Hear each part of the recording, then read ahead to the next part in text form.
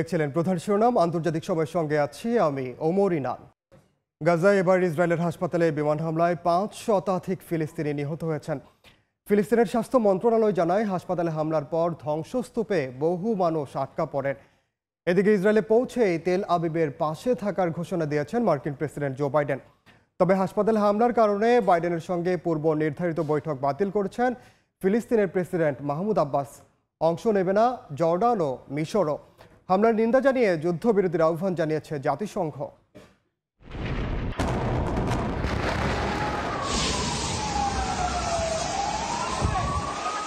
নারকীয় হত্যাযজ্ঞে মেতেছে ইসরায়েল মঙ্গলবার স্থানীয় সময় সন্ধ্যায় ফিলিস্তিনের অবরুদ্ধ গাজা উপত্যকার আল আহলি আল আরাবি হাসপাতালে বিমান হামলা চালায় ইসরায়েলি সেনারা এতে কয়েকশো মানুষ হতাহত হয়েছেন আহতদের অবস্থা গুরুতর হওয়ায় নিহতের সংখ্যা আরও বাড়তে পারে বলে আশঙ্কা করা হচ্ছে হাসপাতালে আহত রোগীদের রাখার জায়গা নেই প্রয়োজনীয় চিকিৎসা সরঞ্জামের তীব্র সংকট দেখা দিয়েছে অনেকের অপারেশন করতে হয়েছে অ্যানিস্থেশিয়া না করেই অবরুদ্ধ গাজা উপত্যকায় বর্বরচিত হামলার ঘটনায় ইসরায়েলকে দায়ী করেছেন জাতিসংঘে নিযুক্ত নিযুক্ত ফিলিস্তিনের রাষ্ট্রদূত জাতিসংঘ মহাসচিব আন্তনিও গুতেরেস হাসপাতালে হামলার নিন্দা জানিয়ে বলেন তিনি হতভম্ব অবিলম্বে যুদ্ধবিরতির আহ্বান জানিয়েছেন তিনি তবে হামলার দাবি প্রত্যাখ্যান করেছে তেল আবিব উল্টো হামাসের ছোড়া রকেটেই ভুলবশত হাসপাতালে আঘাত হানে উল্লেখ করে হতাহতের জন্য স্বাধীনতাকামী সংগঠনটিকে দায়ী করেন ইসরায়েলি সেনাবাহিনীর এক মুখপাত্র এ অবস্থায় রাশিয়া বলছে ইসরায়েলকে অবশ্যই প্রমাণ দিতে হবে যে তারা এ হামলা চালায়নি চলমান এ সংঘাতের মধ্যেই ইসরায়েল সফরে গেছেন মার্কিন প্রেসিডেন্ট জো বাইডেন বিমানবন্দরে তাকে স্বাগত জানান ইসরায়েলি প্রধানমন্ত্রী বিনিয়ামিন নেতানিয়াহু পৌঁছেই ইসরায়েলের পাশে থাকার ঘোষণা দেন বাইডেন বলেন হাসপাতালে হামলা ইসরায়েল চালায়নি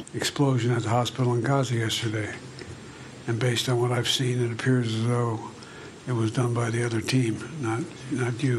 তবে প্রাণঘাতী বিমান হামলার পর বাইডেনের সঙ্গে পূর্ব নির্ধারিত বৈঠক বাতিল করেছেন ফিলিস্তিনি প্রেসিডেন্ট মাহমুদ আব্বাস শুধু ফিলিস্তিন নয় জর্ডান ও মিশরের সঙ্গে জো বাইডেনের অনুষ্ঠেয় সম্মেলনটিও বাতিল করা হয়েছে এদিকে ফুরিয়ে আসছে অবরুদ্ধ গাজার খাবার পানি জ্বালানি এতে ভয়াবহ মানবিক বিপর্যয়ের মধ্যে দিন পার করছেন নিরীহ ফিলিস্তিনিরা অনেকেই আশ্রয় নিয়েছেন আশ্রয় কেন্দ্রে তবে সেখানেও নিরাপদ নন তারা আশ্রয় শিবিরে ইসরায়েলের হামলায় নিহত হয়েছেন অনেকেই এ অবস্থায় আবারও উত্তর গাজা ছেড়ে দক্ষিণে যাওয়ার নির্দেশনা দিয়েছে ইসরায়েলি কর্তৃপক্ষ হাফসাতুন্নেসা সময় সংবাদ এ বিষয়ে আলোচনার জন্য স্টুডিওতে আছেন সহকর্মী রাইসা জান্নাত যাচ্ছে তার কাছে রাইসা আপনাকে স্বাগত জানাচ্ছি আপনি জানেন যে গত দুই সপ্তাহ ধরে কিন্তু এই যুদ্ধটি চলছে অর্থাৎ দুই সপ্তাহেতে পড়লো এই গাজা যুদ্ধ সবশেষে আমি তো শুরুতে অবশ্যই জানতে চাইবো সবশেষ আসলে যুদ্ধের পরিস্থিতি কি সেই সঙ্গে আমি জানতে চাইবো যে প্রথম দিকে হামাস যে লক্ষ্য নিয়ে যেভাবে যে আকারে তারা হামলা চালিয়েছ চালিয়েছিল সেই রকমের হামলা কি আমরা এর পরবর্তীতে আর দেখেছি আর এক্ষেত্রে হামাসের পরবর্তী কৌশলটা আসলে কি হতে যাচ্ছে সবশেষ তথ্য দিয়ে যদি শুরু করেন ইরান আপনি বললেন যে সংঘাতের দুই সপ্তাহ পড়ে গেছে আজকে এবং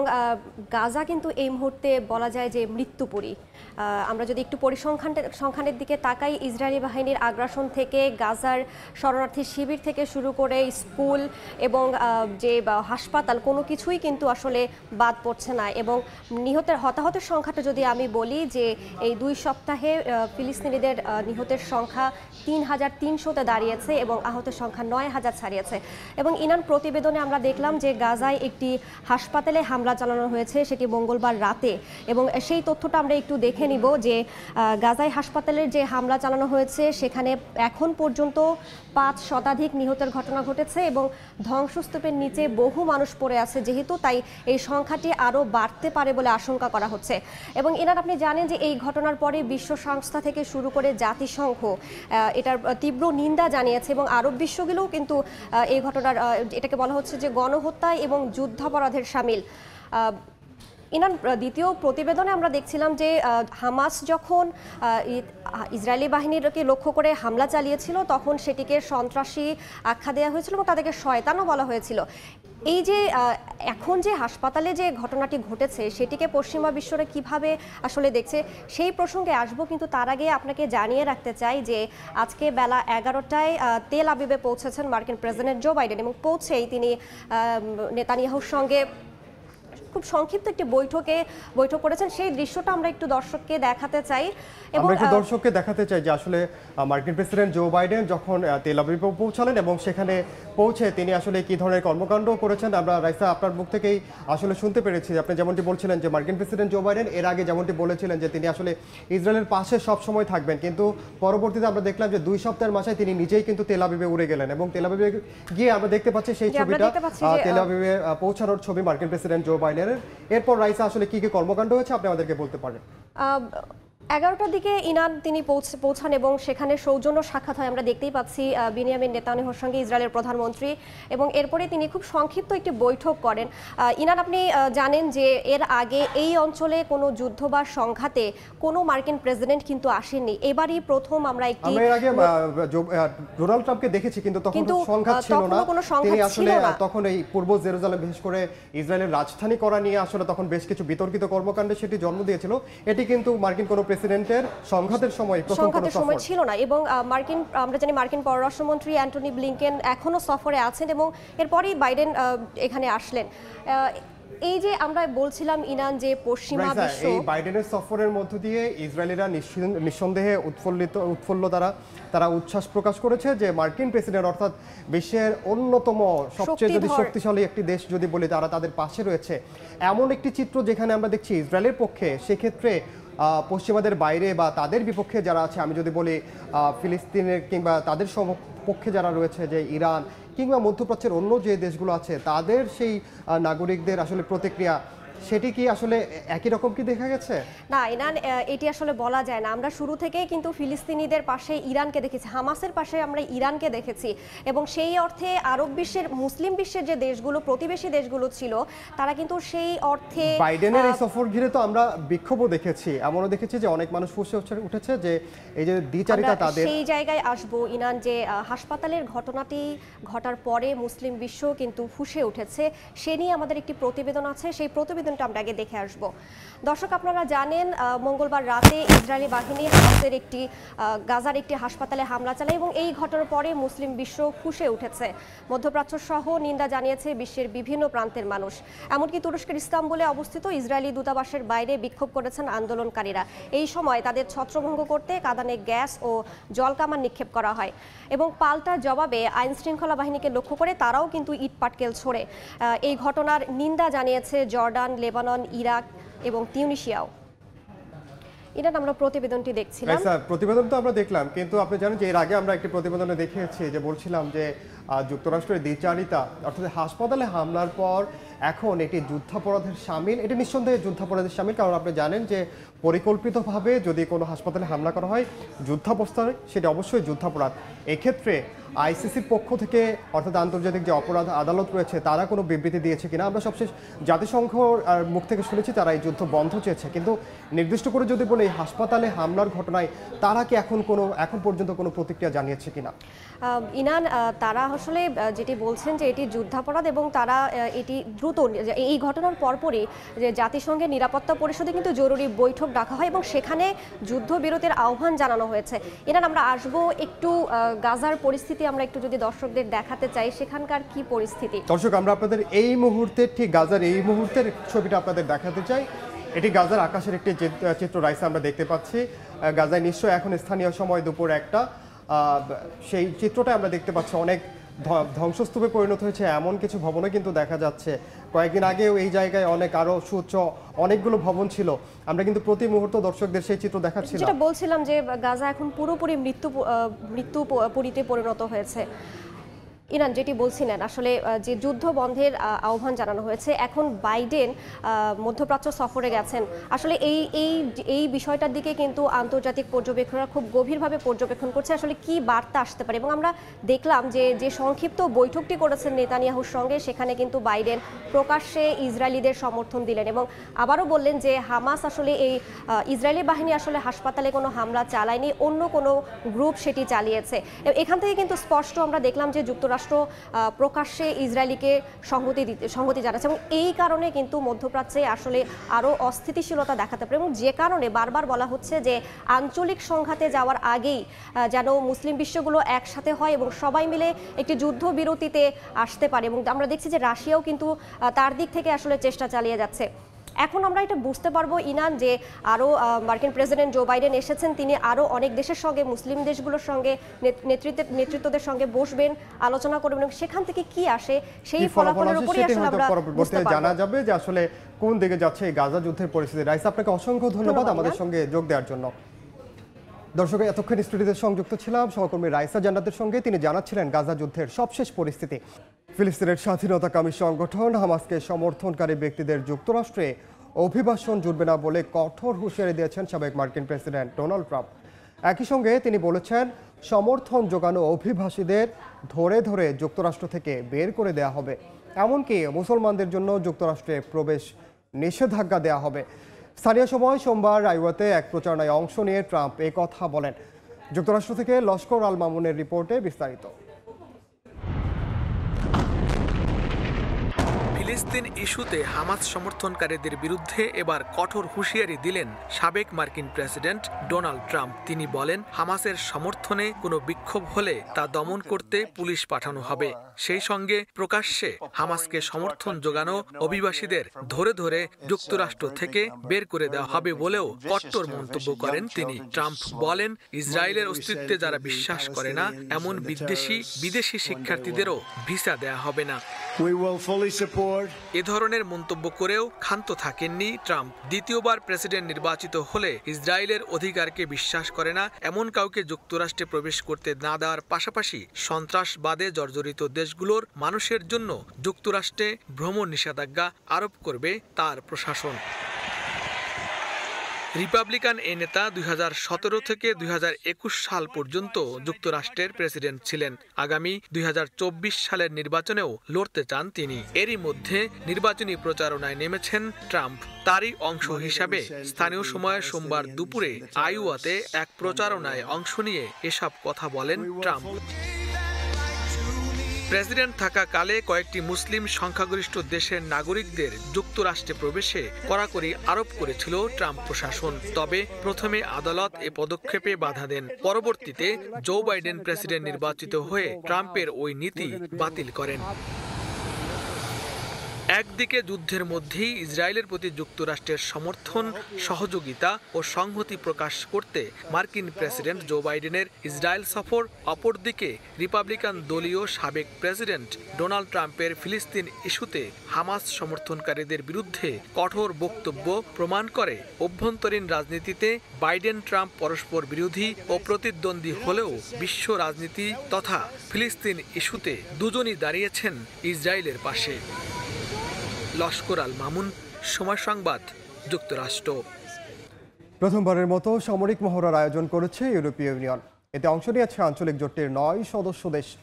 নিজ নাগরিকদের নিরাপত্তার সঙ্গে সঙ্গে বৈশ্বিক যে কোনো সংকট মোকাবেলায় প্রস্তুতির অংশ হিসেবে এ আয়োজন করা হয় অংশগ্রহণকারী দেশগুলো পশ্চিমা সামরিক জোট ন্যাটোর সদস্য হলেও ইউরোপীয় ইউনিয়নের এ সামরিক তৎপরতায় রয়েছে কাঠামোগত বিশাল পার্থক্য সমুদ্র উপকূলে আক্রমণ চালিয়েছে শত্রু সেনারা আকস্মিক হামলায় রীতিমতো দিশেহারা সবাই তবে এর মধ্যেই প্রয়োজন জরুরি ভিত্তিতে সেখানটায় সামরিক সদস্যদের মোতায়েন করে প্রতিরোধ গড়ে তোলার সে লক্ষ্যে চলছে পরিকল্পনা আর পরক্ষণেই উপকূলে একসঙ্গে স্থল আকাশ এবং জলপথে বিভিন্ন অত্যাধুনিক অস্ত্রশস্ত্রে সজ্জিত হয়ে অভিযান শুরু করেছে হাজারো সামরিক সদস্য দেখে বাস্তব কোনো যুদ্ধক্ষেত্র মনে হলেও আদতে চলছে সামরিক মহড়া মঙ্গলবার স্পেনের রোটা উপকূলে প্রথমবারের মতো সামরিক মহড়া চালিয়েছে ইউরোপের আঞ্চলিক জোট ইউরোপীয় ইউনিয়ন মিলেক্স টোয়েন্টি থ্রি নামের এ মহড়ায় অংশ নিচ্ছে Austria Spain France Hungary Ireland Portugal সহ মোট নয়টি দেশ একই সঙ্গে নিজ নাগরিকদের সুরক্ষা এবং বৈশ্বিক যে কোনো সংকট মোকাবিলার প্রস্তুতি হিসেবে এ মহড়ার আয়োজন করা হয় এছাড়াও এর মধ্য দিয়ে গুরুত্বপূর্ণ উপকূল ও বন্দরের সুরক্ষা নিশ্চিতে একসঙ্গে স্থল নৌ ও আকাশপথে আক্রমণের প্রস্তুতি গ্রহণ করেছেন সামরিক সদস্যরা European Union we need to be ready to act as required to protect our citizens and to contribute to the global stability. And for that, we need to exercise together. This will help us to be better prepared to play a role as a defense actor and a global security provider. ইইউর e এই সামরিক মহড়ায় অংশ নিয়েছে বিভিন্ন বাহিনীর প্রায় আঠাশশো সদস্য তবে দু হাজার পঁচিশ সাল নাগাদ এ জোট যে কোনো ধরনের হুমকি মোকাবিলায় দ্রুত প্রায় পাঁচ হাজার সামরিক সদস্য মোতায়েনের সক্ষমতা অর্জনের লক্ষ্যমাত্রা নির্ধারণ করেছে ইইউ জোটের এ যৌথ সামরিক মহড়ায় অংশ নেয়া দেশগুলো একই সঙ্গে পশ্চিমা সামরিক জোট ন্যাটোরও সদস্য তবে সংশ্লিষ্টরা বলছেন কাঠামোগত দিক দিয়ে ন্যাটোর সঙ্গে বিশাল ফারাক রয়েছে এ জোটের মিহিরাজ মজুমদার সময় সংবাদ সব ধরনের পরমাণু অস্ত্র পরীক্ষা নিষিদ্ধকরণ চুক্তি বা সিটিবিটি চুক্তি থেকে বেরিয়ে যেতে প্রস্তুত রাশিয়া মঙ্গলবার কথা জানিয়েছেন দেশটির পার্লামেন্টের স্পিকার যুক্তরাষ্ট্রের সঙ্গে সামঞ্জস্যতা আনা বৈশ্বিক হুমকি মোকাবিলা এবং নিজেদের নিরাপত্তা রক্ষায় এই পদক্ষেপ নেওয়া হয়েছে বলেও জানান তিনি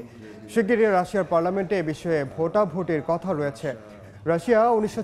সালে সিটিবিটি চুক্তি স্বাক্ষর করে এবং দু সালে তার কার্যকরী অনুমোদন দেয় দেশটির পার্লামেন্ট এতে করে কোনো ধরনের পরমাণু অস্ত্রের পরীক্ষা চালানো নিষিদ্ধ হয় মস্কো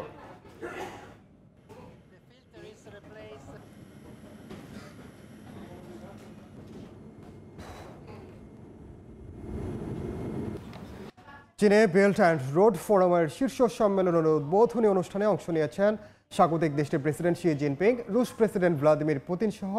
বিভিন্ন দেশের নেতারা শি এবং পুতিন গ্রেট হলে একসঙ্গে হাজির হন গ্রুপ ছবিতে অংশ নেন সম্মেলনে যোগ দিতে যাওয়া নেতারা পরে শি জিনপিং উদ্বোধনী বক্তব্য দেন এরপর বক্তব্য রাখেন পুতিন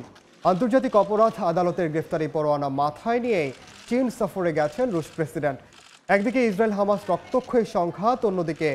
রাশিয়া ইউক্রেন চলমান যুদ্ধের মধ্যেই রুশ প্রেসিডেন্টের এই চীন সফরকে অত্যন্ত গুরুত্বপূর্ণ বলছেন বিশ্লেষকরা যুক্তরাষ্ট্রের প্রতিনিধি পরিষদের স্পিকার নির্বাচনের প্রথম রাউন্ডে হেরে গেছেন সংখ্যাগরিষ্ঠ রিপাবলিকান মনোনীত প্রার্থী জিম জর্ডান যার জন্য দুশো সতেরো ভোট দরকার হলেও তিনি পেয়েছেন দুশো ভোট এদিকে ডেমোক্র্যাট প্রার্থী হাকিম জেফরি পেয়েছেন দুশো বারো ভোট দ্বিতীয় দফা ভোট কবে হবে তা নিয়ে সৃষ্টি হয়েছে ধোঁয়াশা যুক্তরাষ্ট্র থেকে হাসানুজ্জামান সাকির রিপোর্ট মার্কিন কংগ্রেসের নিম্নকক্ষ প্রতিনিধি পরিষদ বা হাউজের নতুন স্পিকার নির্বাচন প্রক্রিয়া আইনিভাবে নিষ্ক্রিয় ছিল প্রায় দুই সপ্তাহ মঙ্গলবার সেখানে ভোট হলেও নির্ধারণ uh, হয়নি স্পিকার কেননা কেউই প্রয়োজনীয় দুশো সতেরোটি ভোট পাননি এমনকি হাউজের সংখ্যাগরিষ্ঠ দল রিপাবলিকান প্রার্থী জিম জর্ডান হেরে গেছেন ডেমোক্রেট প্রার্থী হাকিম জেফরির কাছে জর্ডান পেয়েছেন দুইশো আর জেফরি এগিয়ে আছেন দুশো দশ ভোট পেয়ে প্রতিনিধি পরিষদের বিশ রিপাবলিকান সদস্য ভোট দেননি নিজ দলের মনোনীত প্রার্থীকে বরং তাদের সাতজন ভোট দিয়েছেন অপর রিপাবলিকান প্রার্থী স্টিভ স্ক্যালিসকে ছয়জন ভোট দিয়েছেন আগের স্পিকার কেভিন ম্যাকার্তিকে আর তিনজন ভোট দিয়েছেন নিউ ইয়র্কের কংগ্রেসম্যান লি জেলডিনকে বাকি চারজন ভোট দেন ভিন্ন চার প্রার্থীকে এতে জটিল হয়ে ওঠে স্পিকার নির্বাচন প্রক্রিয়া যার ফলে প্রথম দফায় ভোটে হেরে যান জিম জর্ডান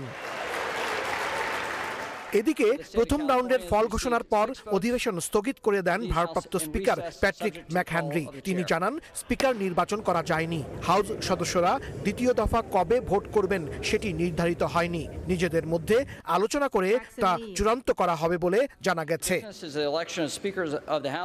হাসানুজ্জামান সাকি সময় সংবাদ যুক্তরাষ্ট্র ইতালিতে প্রথমবারের মতো নির্ধারণ করা হচ্ছে ন্যূনতম মজুরি কাঠামো প্রতি ঘন্টায় কমপক্ষে নয় ইউরো মজুরি করার দাবি জানান সরকারি বেসরকারি কর্মকর্তারা আগামী কয়েক মাসের মধ্যে তা কার্যকর হচ্ছে বলে আভাস দিয়েছে বিভিন্ন সরকারি দফতর এতে দেশটির বাসিন্দাদের পাশাপাশি খুশি প্রবাসী বাংলাদেশিরা মাকসুদ রহমানের তথ্য ও ছবি নিয়ে রিপোর্ট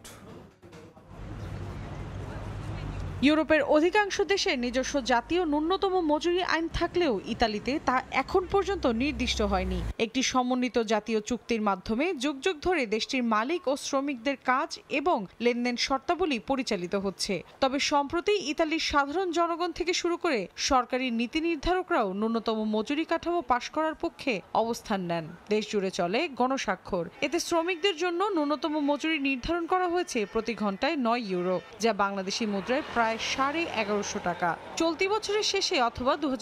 সালে তা চূড়ান্ত করা হবে বলে জানিয়েছে বিভিন্ন গণমাধ্যম এমন খবরে স্থানীয়দের পাশাপাশি খুশি প্রবাসী বাংলাদেশিরা আমাদের দাবি ন্যূনতম মজুরি ঘন্টায় কমপক্ষে নয় ইউরো এর চেয়ে কম হলে তা ইউর দারিদ্র্যসীমার মধ্যে অন্তর্ভুক্ত হবে ইটালিতে শ্রমিকদের নির্দিষ্ট কোনো বেতন নেই তাই আমরা প্রবাসীরা মাননীয় প্রধানমন্ত্রীর কাছে আকুল আবেদন প্রবাসীদের জন্য যেন সর্বনিম্ন নয় ইউরো বেতন করা হয় ইতালিতে কর্মজীবী মানুষের সংখ্যা প্রায় আড়াই কোটি সাতাশ লাখ বিদেশি যার মধ্যে সাতাশ লাখ বিদেশি দেশটিতে বসবাস করছেন প্রায় আড়াই লাখ প্রবাসী বাংলাদেশি নতুন এ কাঠামো কার্যকর হলে শ্রমিকদের পারিশ্রমিক অনেকাংশেই বেড়ে যাবে বলে জানা গেছে এতে বাড়বে ইতালীয় নাগরিক ও প্রবাসী বাংলাদেশিদের আয় দু সালের সাত জুন শ্রমিকদের জীবনযাত্রার মান উন্নয়নে ন্যূনতম মজুরি নয় ইউরো নির্ধারণের নির্দেশনা দেয় ইউরোপীয় ইউনিয়ন যা পালন করতে বাধ্য হয় ইতালির সরকার সময় সংবাদ ইতালি দুর্গাপুজো উপলক্ষে সাজ সাজরব পশ্চিমবঙ্গের রাজধানী কলকাতায় শেষ মুহূর্তের প্রস্তুতিতে ব্যস্ত মণ্ডপগুলো এরই মধ্যে শুরু হয়েছে দর্শনার্থীদের ভিড় আয়োজকদের আশা সব কিছু ঠিক থাকলে অতীতের সব রেকর্ড ভেঙে যাবে এবারের দুর্গোৎসবে কলকাতা থেকে বিস্তারিত জানাচ্ছেন সুব্রত আচার্য ক্যামেরায় ছিলেন বিশ্বজিৎ দাস দুর্গাপূজার মহাষষ্ঠী শুরু হতে এখনো বাকি কিছুটা সময় কিন্তু এরই মধ্যে পশ্চিমবঙ্গের রাজধানী কলকাতার প্রায় সব মণ্ডপে ভিড় যেন উপচে পড়ছে পূজা মণ্ডপগুলোর সামনে এমন ভিড় জানান দেয় এবার দুর্গাপূজায় আবহাওয়া ভালো থাকলে আয়োজনে অতীতের সব ভিড়ের রেকর্ড ভেঙে যাবে উত্তর কলকাতার দমদম টালা পার্কের পূজা থেকে দক্ষিণ কলকাতার বেহালা পর্যন্ত প্রায় তিন হাজার মণ্ডপে এবার পূজিত হচ্ছেন দশভুজা দেবী দুর্গা শেষ মুহূর্তে তাই পূজা মণ্ডপগুলোতে যেন তিল ধরনের ঠাঁই নেই মহালয়ের আগে থেকেই মানুষজনের এত ভিড় এত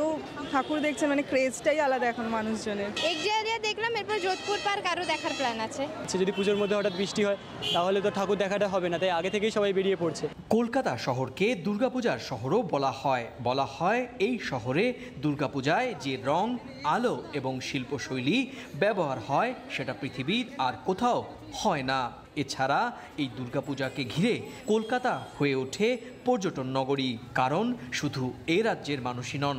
দেশ বিদেশ থেকে প্রচুর সংখ্যক প্রবাসী ভারতীয় বিদেশি পর্যটকও দুর্গাপুজোর আমেজ নিতে ছুটে আসেন সিটি অফ জয় কলকাতায় কলকাতায় ভিড় তো একটু বেশি থাকবে না কলকাতা বলে কথা মহালয়া থেকেই এই ভিড়টা শুরু হয়েছে এবং পরবর্তীতে দশমী অবধি তো একই মানে এর থেকে ডবল থেকে তিন ডবল ভিড় হতেই পারে শুক্রবার মহাষষ্ঠীর মধ্য দিয়ে আনুষ্ঠানিকভাবে শুরু হবে চার দিনের দুর্গাপূজা তৃতীয়ার এই বিকেলে এই জনজোয়ারের ছবিটা কিন্তু নিঃসন্দেহে কলকাতায় মহাষ্টমীর ভিড়ের ছবিকেও হার মানাবে বলছেন কলকাতায় ইতিমধ্যে দুর্গাপুজোর যারা দেখতে নেমেছেন রাস্তায় সে সমস্ত দর্শনার্থীরা তারা বলছেন মহালয়ার সময়ই বেশ কয়েকটি পূজা মণ্ডপের ভার্চুয়ালি উদ্বোধন করে দেওয়ার কারণেই তারা কিন্তু পরিবার পরিজন বন্ধুবান্ধব নিয়ে বেরিয়ে পড়েছেন প্রতিমা দর্শনে দক্ষিণ কলকাতার একডালিয়া পূজা মণ্ডপের সামনে থেকে সুব্রত আচার্য সময় সংবাদ আন্তর্জাতিক সময়ের শীর্ষ সংবাদ জানিয়ে দিচ্ছে আরেকবার নারকীয় যজ্ঞে মেতেছে ইসরায়েল এবার টার্গেট গাজার হাসপাতাল বিমান হামলায় নিহত পাঁচ শতাধিক আশ্রয় শিবিরেও গোলা বর্ষণ প্রতিবাদে ফুসছে মুসলিম বিশ্ব হামাজকে শয়তান আখ্যা দিলেও ইসরায়েলের বর্বরতার পর এবার তেল আবিবের পাশে থাকার ঘোষণা বাইডেনের বৈঠক করবেন না মাহমুদ আব্বাস অংশ নেবে না জর্ডান ও মিশরও এবং চীনে বেল্ট অ্যান্ড রোড ফোরামের শীর্ষ সম্মেলনের উদ্বোধন অংশ নিলেন শি জিনপিং পুতিন চীনা প্রেসিডেন্টকে বন্ধু সম্বোধন করে নেতৃত্বের প্রশংসা করলেন রুশ প্রেসিডেন্ট